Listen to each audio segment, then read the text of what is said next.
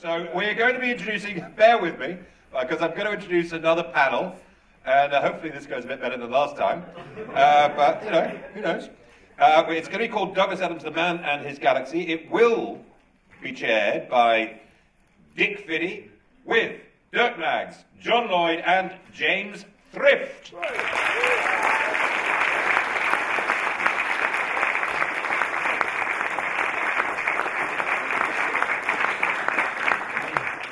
you on stage, please? They're toying with me.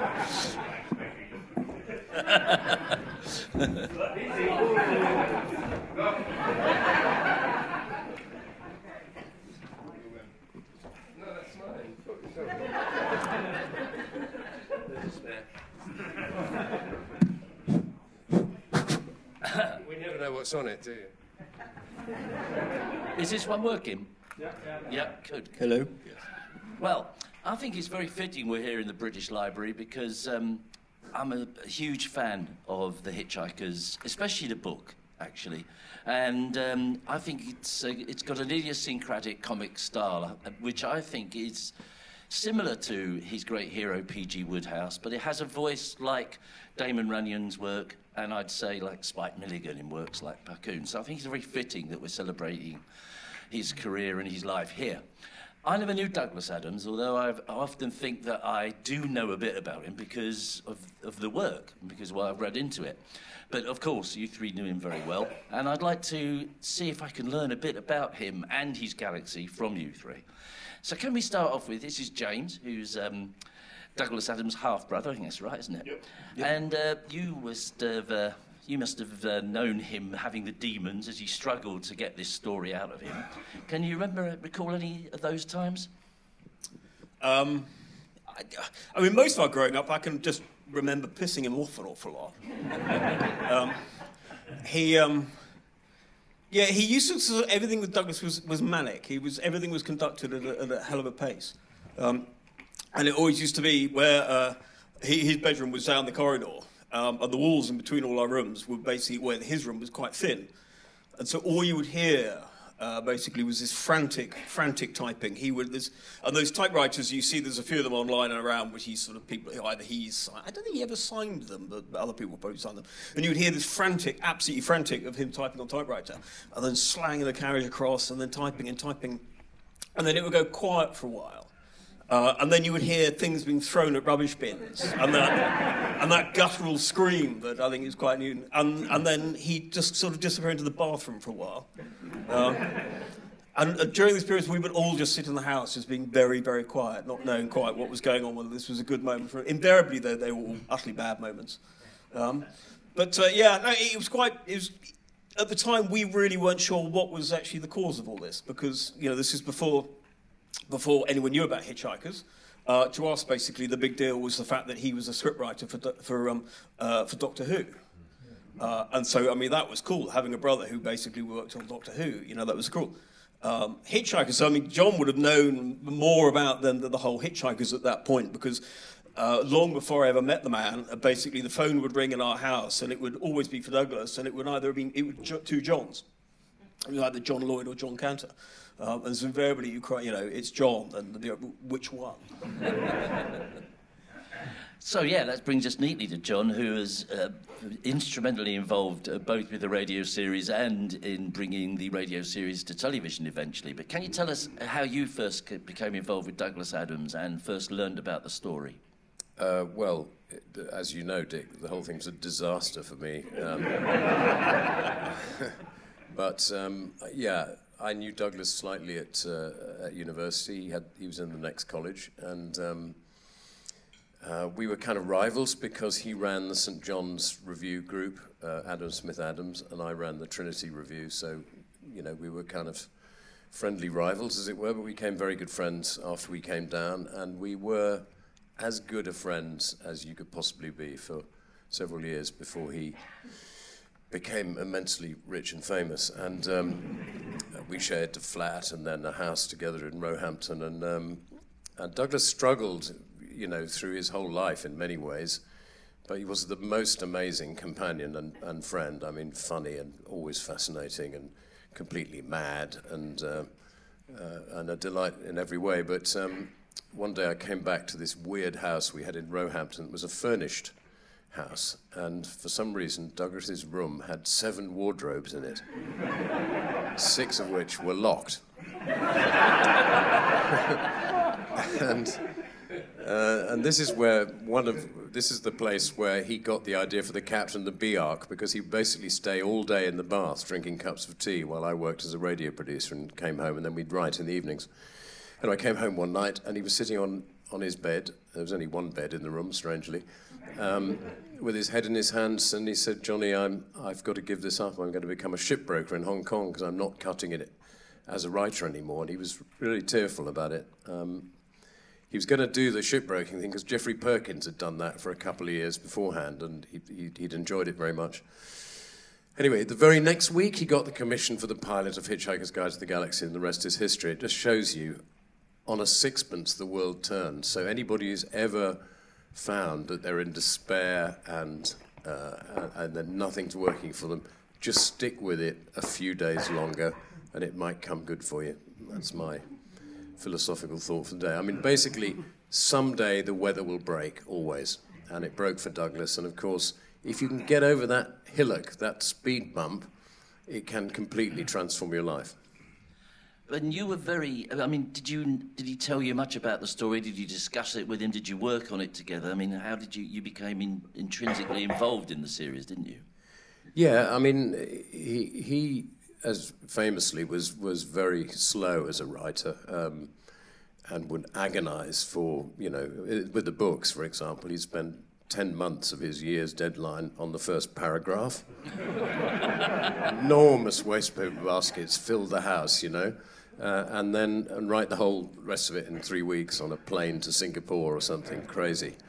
Um, but uh, so I didn't know much about what was going on. I just thought when you've I've invented a few good titles in my life, and that is the greatest title, I think. You know, you just immediately have to pick up the book, don't you? You wonder what it's about and all that. And um, so that's really all I knew.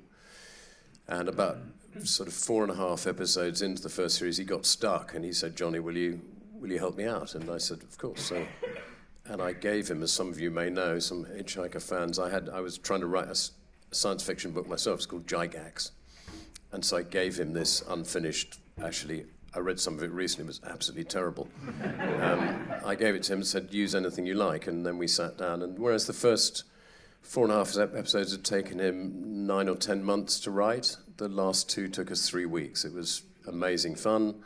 And, you know, I, I spent a lot of my life being the sort of comedy cleaning lady.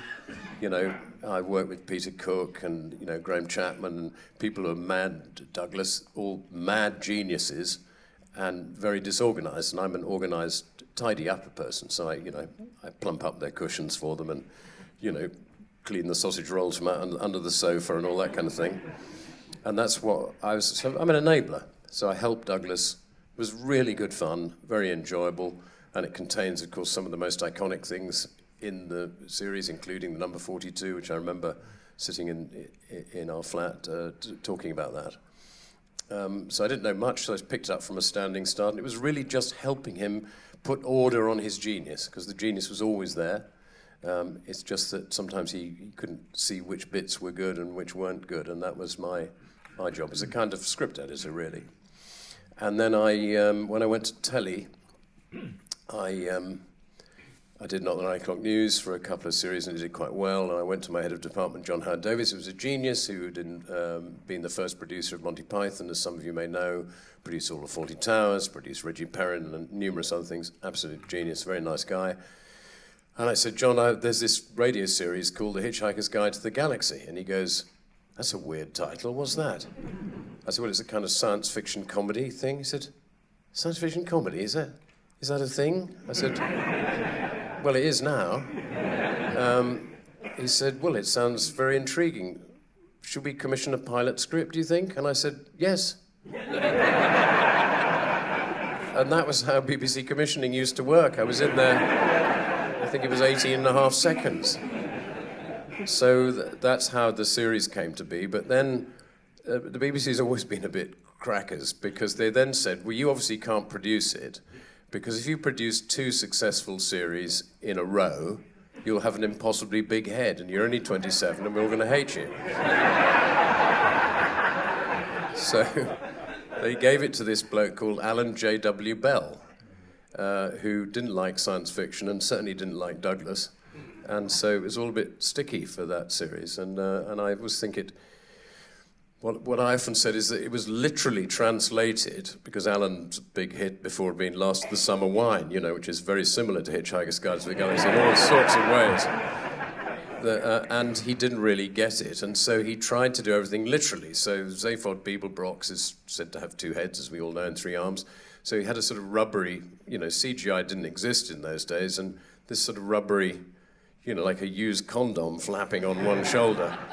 Uh, and I said, but Alan, it doesn't have to be realistic. We, we don't know, for example, the, the, the text does not state how large Zaphod's head is, or indeed where on it his body it grows. And it could be, you know, up his bottom, for all we know. Uh, but anyway, he went ahead, and so it was a slightly uncomfortable and un, unhappy experience for me, actually. And if you look at the credits of the television series, you'll see when my name, name comes up as associate producer, it is shot off into the outer reaches of the galaxy because that's how much Alan liked me. Yes, sorry about opening old wounds there, John. Thank you for yeah. sharing. My name's John, I'm an alcoholic.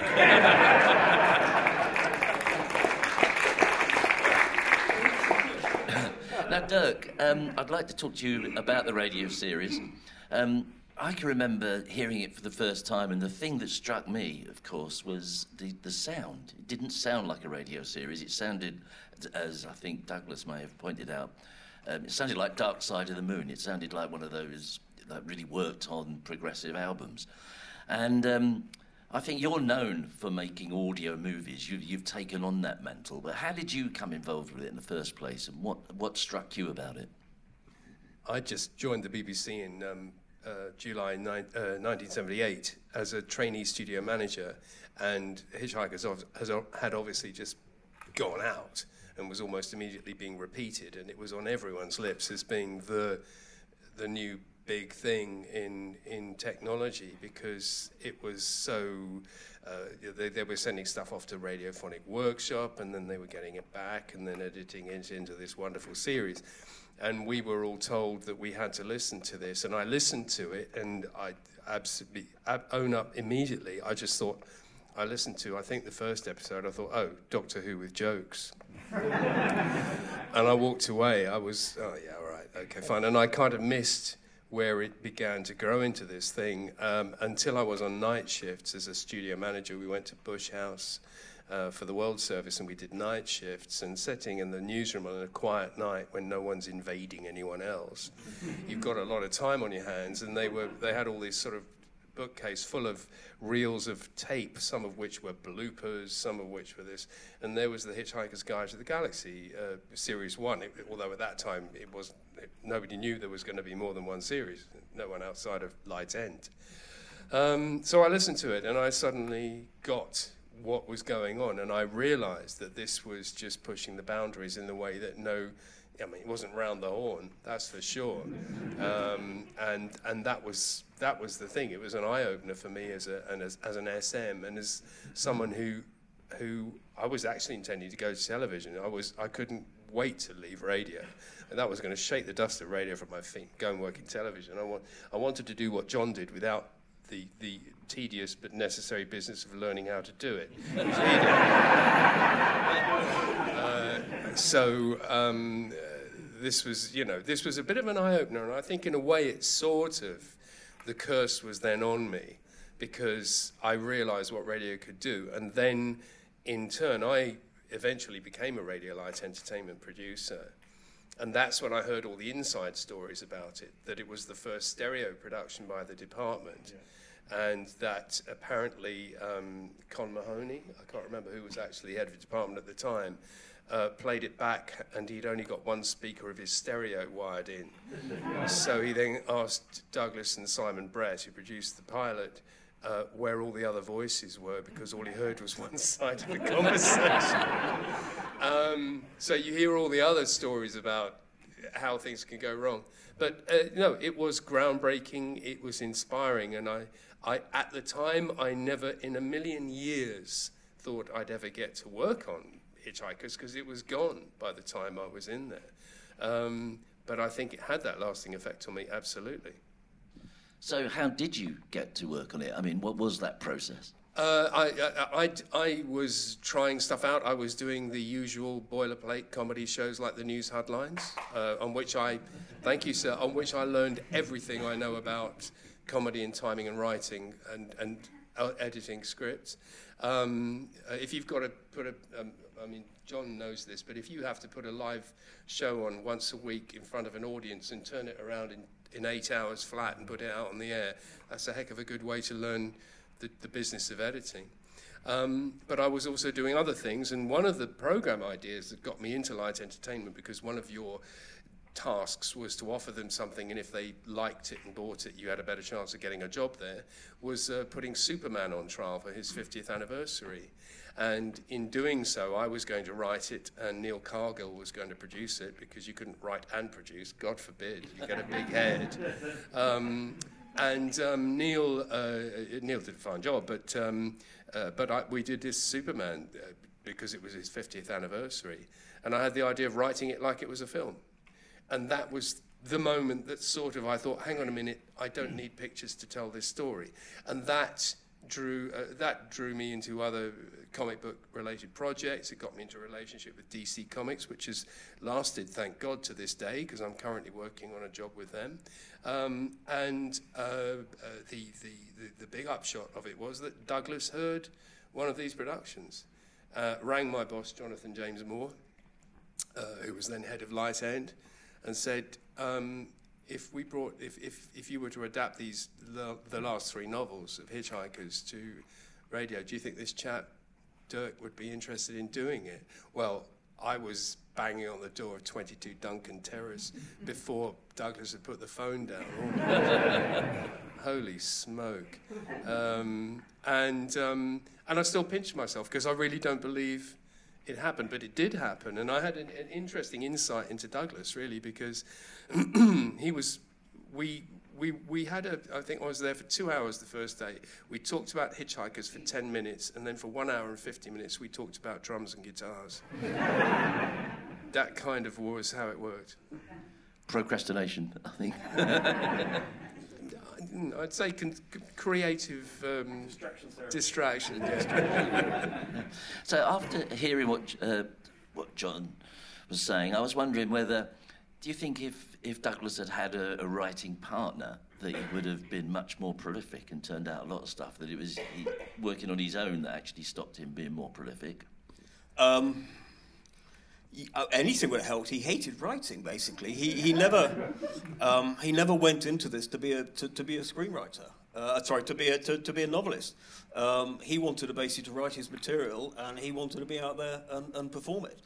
Um, and in which case he never would be on his own. He would always be basically as a script, a gag, uh, as part of a team. So when you look at uh, when he was at university, uh, Adam Smith Adams, uh, I mean, we used to get. I, I, didn't see basically any of the performance uh, being performed. All we used to see was these bizarre posters that would appear in the house of Douglas in a chicken outfit on, on Brentwood Station or, or what have you. Um, absolutely loving it.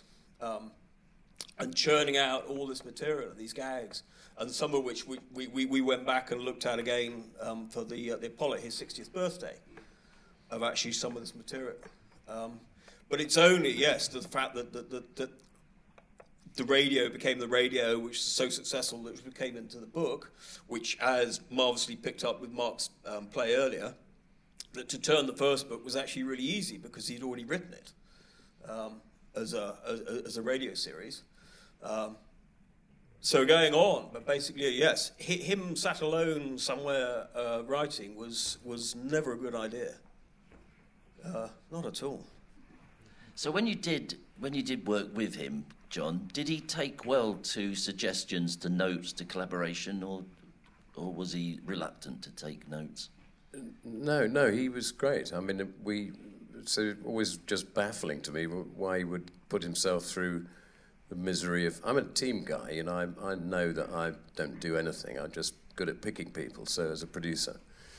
And so when you find somebody you get on with that well, we shared exactly the same sense of humor. We were both really interested in science and technology. We'd read all the science fiction books, and we were friends. It was, why would you not want that? But anyway, he wanted to do The Lonely Road, and that's, that's fine. It's very unusual, actually, for comedy to be written by one person. It's nearly always teams, you know, um, you know, Muir and Norden and Galton and Simpson and Jones and Palin and Cleese and Chapman. I mean, it's, it's, absolutely common because of that thing. that what you need is a nutcase with all the ideas and somebody to tidy it up. That, that's it's classic. So, um, but I'd never resented it because although it was a shock at the time, it, it was the kick I needed. I, I uh, was saying to somebody in the queue of the bookshop, that book we wrote, The Meaning of Liff, together.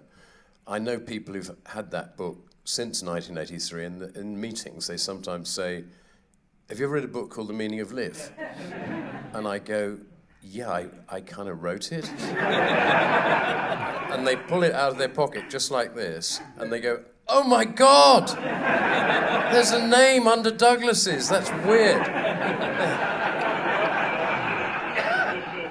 so, um, and I, I, you know, I spent 45 years as a producer. I don't mind being a relatively behind-the-scenes person. I, like Dirk, I'm very happy to help other people do it well and not to take the, the obvious credit. But it's like, so you're talking about the writing the book, James. So we booked this holiday in the Corfu, the wrong bit of Corfu, the northwest corner, where nobody, well, they still they go there now, but it was like basically a beach covered in seaweed a church and a taverna and two little houses on the hill and, and a lot of dust everywhere. And we booked this holiday. and Then Douglas sacked me in the interim, but of course I couldn't afford two holidays a year. I'd already spent the money, so we went together. And in the mornings, I would eventually get up and go down to Taverna Manthos. He's still alive. He's 80 something now. This bonkers Greek uh, on the beach. And Douglas would sit. You could see him from the taverna up on the hill in this in the veranda with his big writer's hat on, enormous BBC typewriter that he'd stolen from the office, tapping away, and you could hear the people him cursing and going, and you hear the clunk of things in the wastepaper basket. And eventually, about 11.15, you'd see him look at his watch and he'd slope down to the divan and we'd open a bottle of Retsina. And that, that was how the first novel came to be written. and he had to throw it away at the end of the month because it was actually Kurt Vonnegut novel. Uh, he hadn't found his own style yet. It wasn't that easy to turn the scripts into, into a novel. Anyway, he used to play this game uh, when we were down in the taverna on the beach, which his, his uh, old English teacher had taught him, which is you have to say, what's an Epping? You know, what's a, um, what's a Heckmondwike? What's an, what's an Ely? That kind of thing. And out of that came eventually the meaning of Liff. So that month wasn't wasted, but it was wasted on Hitchhiker. He started all over again when he got back to, to London and then eventually found his feet. So it was, you know, it was fantastic fun working with Douglas. I mean, I enjoyed it. I wouldn't have fired him. If you find somebody that good, you cling to them, you know, as much as you can. But it's my lot in life, Dick. I've been fired by Rowan Atkinson eight times now, so. well record, thank you. Um, you, you touched on the fact that um, sci-fi and comedy is not is, it's not common, it's rare. And Kurt Vonnegut, maybe he was a satirist, brought satire to uh, to sci-fi. Perhaps only Robert Sheckley as was someone that was writing out and out comedy sci-fi. And Dirk, you had to take on the mantle. You had to um, work with the words on the Hitchhikers. How did you find it? And um, and what did you a take? A poison chalice. I'm still recovering. Well, you know, all, there's all this history of hitchhikers, and I come in this enthusiastic baby light ent producer and realize I'm walking into a minefield. And it happened quite early on, actually. And I was thinking of this as, as, John was speaking, because actually, I think one of the things about Douglas was he, he kind of was like an oyster. In, in order to make a pearl, he needed a bit of grit. And I think that John was that bit of grit at one point. Uh, and it didn't have to be, I mean, and I think John was a positive piece of grit. I think there were negative pieces Stay with me, I'm not sure where I'm going. um, but, um, um, this immediately, the, the, the, initial effort to, to, to bring about the tertiary phase was in 1992 93. And I had rung Peter Jones, he was aboard. I'd rung Simon Jones, he was aboard. Uh, Sue Sheridan, I was bumping into in the sound house, and she was definitely aboard. I mean, everybody was up for it. But as soon as you start, this is the thing about hitchhikers, it attracts it doesn't just attract lovely people, as are in this room now, he carefully said. It also attracts all the sort of, all the sort of kind of, you know, everybody's in it to see what they can make out of it, which is kind of, which would bring us on to the tour uh, earlier this decade, but let's not go there. Um, but the thing that happened there was suddenly everybody in management was really interested in how it was going to turn out. And there was this enormous meeting of people about who was going to write the script. And at the point where Douglas and I were talking, that hadn't been decided yet. And I'd thrown my hat into the ring quite early. And I said, look, I could I could do a script and then you could read it. And if you like it and you think it's okay, you can stick your name on it. As long as somebody pays me, I'm fine about that. But you know, if it if it helps to have it all under one roof. But in the end, some agent or another introduced a, a, very, very charming writer into the mix called Alec Rowe, who was absolutely lovely. And Alec generated a first script for tertiary into which he inserted a talking dinosaur. and I was in my office in uh, 16 Langham Street, where Light Entertainment was based at the time, and this script came in in the brown manila envelope, and I got it out, and I got to page three, and I thought, I'm not sure this is where this is supposed to go at all. And I had a courier take it round to Douglas's, and I think I, didn't hear the explosion, but I'm assuming outdoors it was it was audible uh, by Selfridges because uh, uh, Jonathan got a phone call. No, I got a phone call from Douglas saying, "Can you? Uh, are you able to come round now?" And the tone of his voice suggested that I really ought to, and I did. And I went in, and Jane showed me in, and said, He's downstairs, sort of just with this cursory gesture. So I went downstairs to the basement front room at uh, Duncan Terrace, and there was Douglas on his MacBook or whatever the equivalent was then, banging away furiously. And there was this sort of driven quality that you've kind of suggested. But he was absolutely focused like laser beam. And he said, I can't write this bloody book all over again. I can't write this bloody book all over again. And I said, Was it the dinosaur? He said, Of course it was the fucking dinosaur. Did you read it? And I said, Well, I read enough to know that I thought that might be a problem. and he sort of he, he, got about five pages in or whatever it was and he stopped he, he closed the lid of the machine he said I, I can't do this we, you know this is a we, you know this is a problem um, and I said okay well you know, my office still there, but you know, do what you feel you have to do. Because I, I, I was happy. You see, I, John makes a very important point. There are people like John and I who basically are the tidier uppers and the, the, the sort of make it fit the format without killing the, the spontaneity, without killing the initial spark you have to actually shape things to go out there in order for them to succeed. And you have to have a sort of ordered mind, I think, is, is probably right. Uh, yeah, it's an important uh, not to like talking dinosaurs too much. That's yeah, have, a, have an inkling that your writer might be a, a bit pissed off. Um, so I kind of went back to the office, and that was the Talking Dinosaur was where the 1993 production of Tertiary didn't happen because we could have made it 10 years before we did if this thing hadn't happened. I'm not saying I came in and saved it, but in the end, I was allowed to do the adaptation, and what I did was try and make it as Douglasy, if that's a sorry, terrible adjective, uh, as possible. I just tried to channel him, and I'm not in his league in any sense, not in terms of IQ, not in terms of comedy. Um, uh, Nous, certainly not in terms of altitude. But, uh, but I do, I, I was in the room with him when he was doing this, and it impressed upon me how important it was that it had to reflect what he was trying to do in the books. And I think by the time he wrote Life, the Universe, and everything, yes, it was an adapted Doctor Who script. Yes, it had elements of other things in, but he had found his voice as an author by then, and it's very much a hitchhiker book.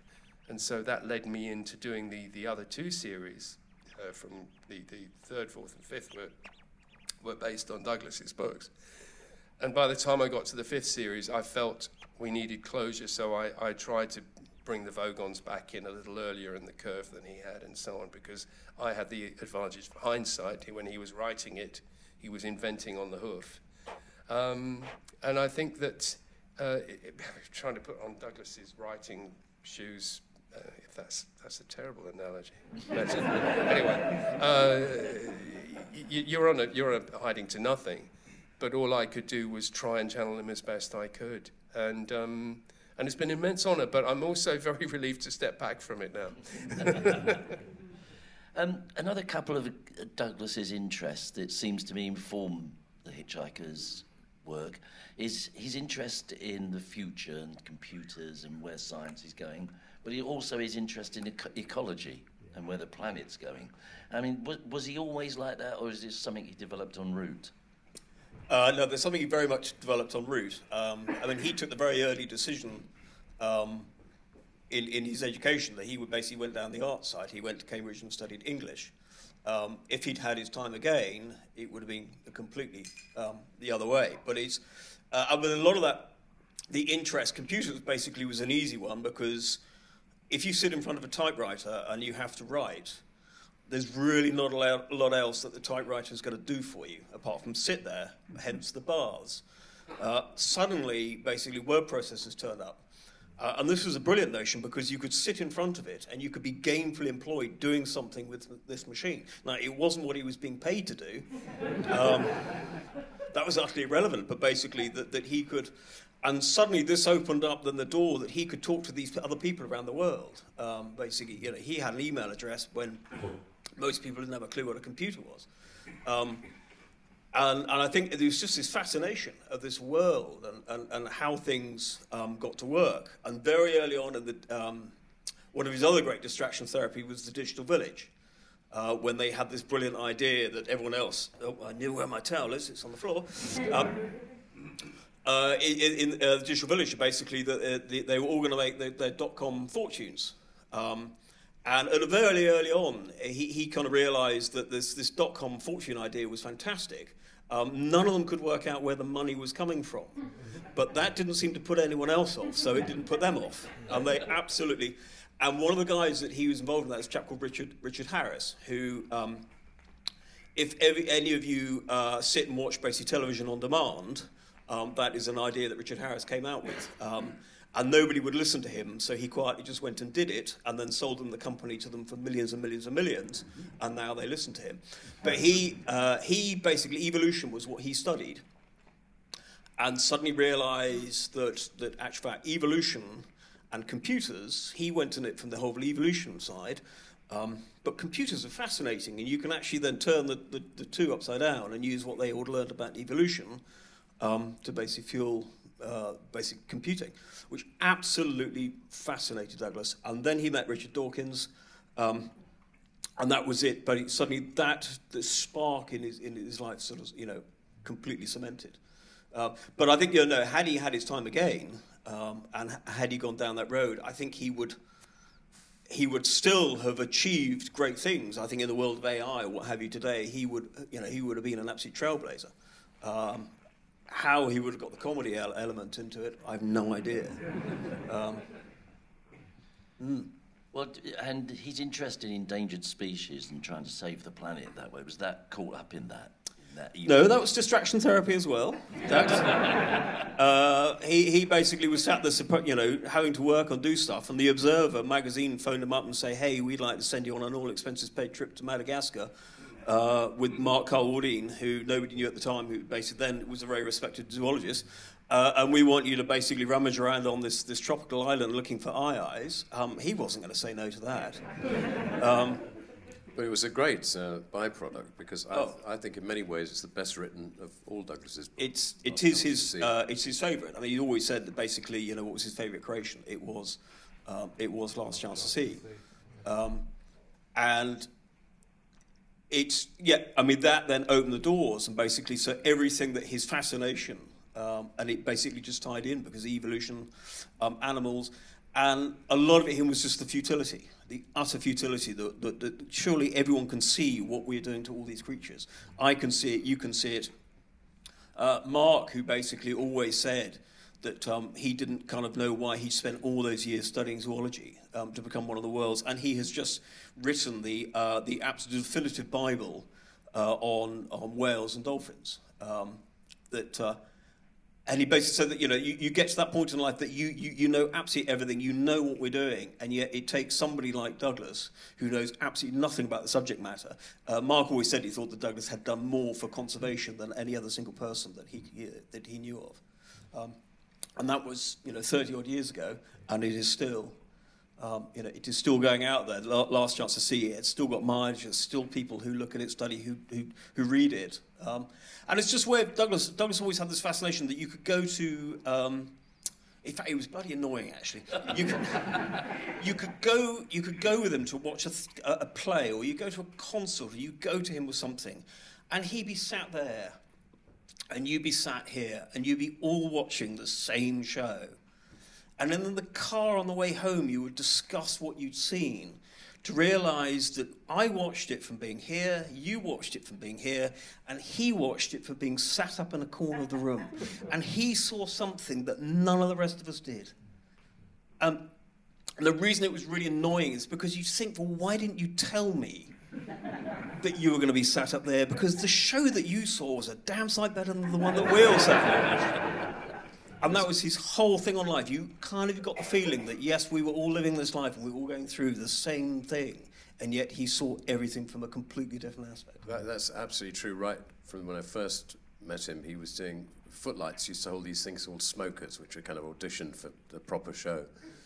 And sort of students used to turn up and you had to write your own stuff. And I remember Douglas coming on, this amazingly tall bloke, um, and doing this monologue about a tree that went on for about 20 minutes. And people were just looking at the notes in their program going, no idea.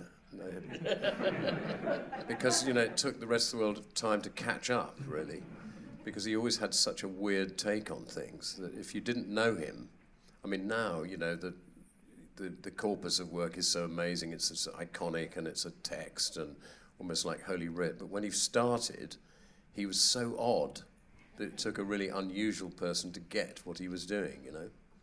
I mean, you know, he'd do this. Uh, I used to produce a show called Weekending, which is a topical, you know, political comedy. Went out very late at night on Fridays, and uh, Douglas got a little commission to write it. And of course, it was all about well, the sort of things that are in Hitchhike. He said, no, Douglas, this is about the news. I think a bit dull if it's about the news. but that, that's the brief of the program. So it, I was going to say another interesting thing about meeting Richard Dawkins, which is, I think it was, you know, became one of his passions, atheism, um, Douglas, and I thought it slightly got in the way of stuff because the one thing you want as a writer is not to be certain about things. I think if you if you start getting certainties, which he was so certain that Richard was right. I mean, Richard's actually now backtracked a bit. He said he's only 99.9% certain because it's not scientific. If you're if you're absolutely sure. If, you, if you're 100% certain, that's not science. But if there's some doubt, it's okay. But I, I found that um, there were sort of areas that you couldn't talk to about with Douglas towards the end of his life before he would get on a bit of a podium and talk about it. The good side of that was conservation, which was always fascinating and passionate. And the, the other thing was like, you know, there's no meaning, there's no point, there's no, uh, no nothing. It's kind of like, doesn't feel like that to me, Douglas, but uh, never, never did to him either. I thought it was not not a healthy position, personally, but. It's, it's funny, uh, having adapted the last three books for someone who is a professed atheist, how many references to God and gods there are in it, and the and the and the sort of and with I'm this I'm not ascribing anything to Douglas or anyone else, but it's just very interesting. There's a sort of theistic culture. But this is the thing that atheists are much more interested in God than the rest of us. Most of us don't. Most of us don't go you know, three weeks without thinking about it. Uh, no, there's no such thing. Well, yeah. It used to be one of his highlights actually at Christmas down in Dorset. He used to love going to midnight ma- midnight mass, any excuse to go to church, and that was a simple thing because he loved the choral music, um, the music side of it. But uh, yeah. And his prescience of, you know, like uh, with hitchhikers, sort of almost uh, pre-guessing the internet, and then with um, with Last Chance to See, um, pre-guessing the current interest in conservation. I think that's one of the things that keeps his work alive, isn't it, and makes it seem so vital today and keeps it fresh. And I don't think that was something he planned, was it? That was just a byproduct. It's, it's really interesting that the, the thing about Hitchhiker is it is one of those things that will stand forever because it was Douglas's own truth. Do you know what I mean? Especially those first two books, I think, and the radio series.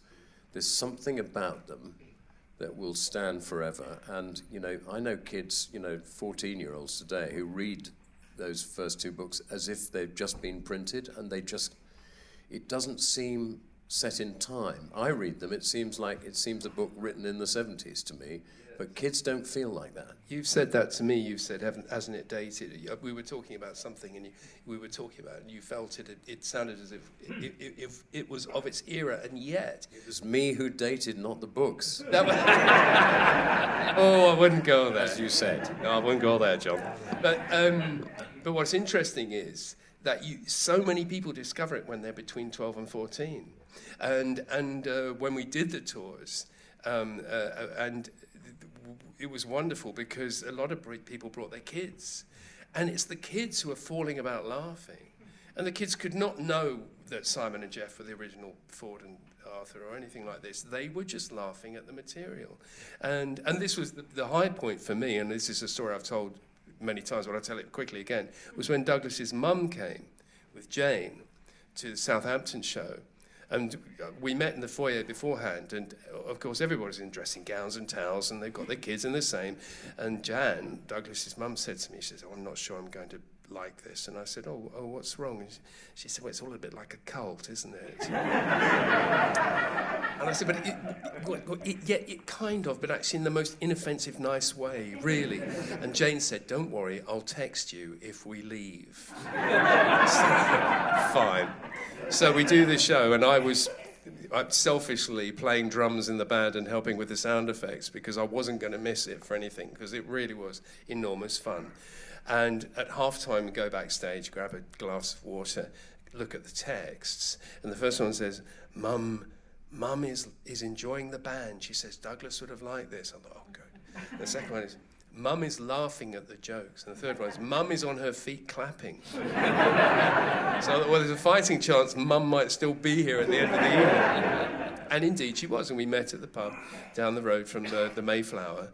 And, um, and she came up to me and she slapped me on both cheeks quite hard. And I thought, ah, obviously, Act Two needs some work. Um, uh, but she, uh, and she said, um, when my husband and I, your dad, um, used to go to bed and hear it, we would fall asleep because it was quite late at night and we didn't really understand it. but I've, now I've seen it with all these people in the room laughing, I realise how funny Douglas was. and that was a wonderful moment because she hadn't known just that Douglas's stuff made people laugh the way it did. And that made the whole thing worthwhile. I mean, that, that, that trip to the, the um, to the show, I think that was kind of almost the defining moment for her when she did realise that it was funny. Yeah, um, really. Because up to that point, uh, Hitchhikers basically, the birth of Hitchhikers in the house, she would just be sat there making peanut butter sandwiches um, and farming them up and never knowing if it was a good, you know, was it a good time to knock on his door and was it not a good time. Um, and it's quite funny, just before coming here earlier today, I was going through some stuff and there was a letter from Alan J. Bell to Douglas basically saying at the end of the series, uh, basically saying, here, here are two awards. Obviously, Douglas wasn't around to pick it up. Uh, I understand a lot of the cast and people, you know, are upset there's not going to be another series. But the way that he hints, even in that letter, that he's still at that point not sure if it's funny. Hmm. Um, yeah. And that, so to Mum, basically, the whole thing, it, was, it wasn't a pleasant process of Hitchhikers yeah. being born and all the forms that it came through. Uh, and then when Douglas, uh, Ed Victor, who famously went and sold the rights to, to one of his books for, for, for millions, and which upset everyone in the publishing world because what you did as an agent is you went to the publisher of the last book and said, My dear fellow, would you like to publish the next book? Same fee, rounded up a bit. Ed basically threw it out the window and went out into the marketplace and said, uh, Douglas Adams is going to write a book. How much money are you going to give? And it was something like 2.2 million pounds.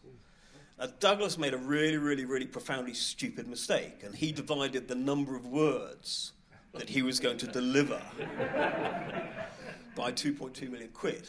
So, any of you who saw basically the, the, the, Mark, the, uh, the play earlier today, that was his notion that he would go upstairs, he'd be in Duncan Terrace, and, uh, and Sue Freestone, who was his editor, and she, but before they got to the point when he was locked in hotel rooms, she would sit in his, in, in his kitchen and he'd be in his study on the top floor.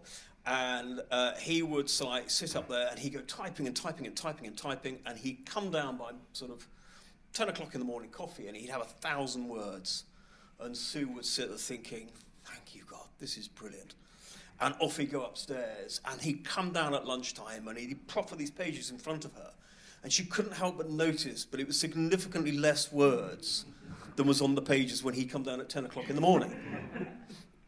And she think, well, don't say anything. Don't say anything because obviously he's got, he's got this as a plan. And then he disappeared. By the end of the day, he would have got those 1,000 words down to 150. um, but as far as he was concerned, they were 150 words worthy of what he was being paid um, for those 150 words. What really pissed him off at the time is that Stephen Fry, who was another distraction therapy, uh, not in that way, um, who, uh, who lived around the corner and they used to argue amongst themselves as to who bought the first Apple Mac in the UK uh, and who bought the second. Uh, Stephen was absolutely convinced. Oh, he gave in that Douglas, I'll let you buy basically the first one, Douglas, as long as we can tell the world that I bought the second one. Unfortunately, at that point, Douglas came out with a receipt for two Apple Macs. Uh, so Stephen had the bit that, okay, he bought the third one. Um, but he would sit there wanting to go upstairs and play um, basically play on computers, play, do anything. And Sue used to say, Look, I'm really, really sorry, Stephen, but until he comes down with a decent body of work, it's not happening. And over this period, the pair of them, basically, Sue was saying to Stephen, Do you know what? You could do this. And he said, Well, I could do what? He said, You could. You could write a book. You could sort of, oh, I couldn't write a book. Honestly, she said, you could write a book. You write a book and I will edit it for him. And he didn't say anything about it, but he disappeared for three weeks and came back with the hippopotamus. Uh, of which then Douglas, Douglas and Stephen had an awful lot of fallings out, and I think that was the first one. That basically they realised that how easy he found it was to go and do it, uh, whereas Douglas would just be sat there with this, yeah, this constant, constant block as to how to actually get it out of him. Well, thank you so much. I do think now that I have a, a much clearer image of Douglas in my mind, uh, hearing from you three guys. Thanks ever so much. And uh, thank you all for coming. And, and, it's great, as I say, to have it here in the British Library. It's, a, it's fitting, uh, a tribute place to have his work in. And also, um, it's, it's great to be on stage with three positive Grits. Thank you.